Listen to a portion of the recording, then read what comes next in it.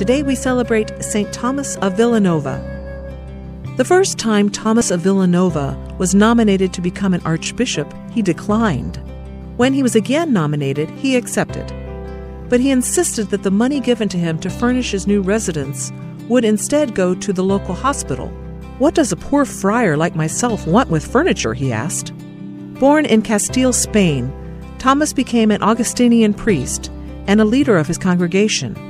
For years, he wore the same habit that he had received as a novice mending it himself.